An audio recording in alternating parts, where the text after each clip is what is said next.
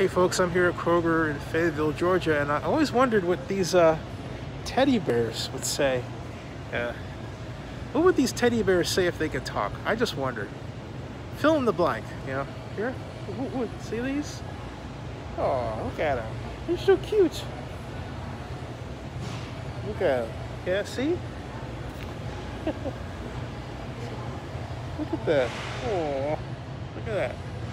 What would teddy bears say if they could talk? yeah. Uh, hey, Valentine's Day is right around the corner. So, question to you What would a teddy bear say? That was on that shelf. Buy me? or, it's warm in here?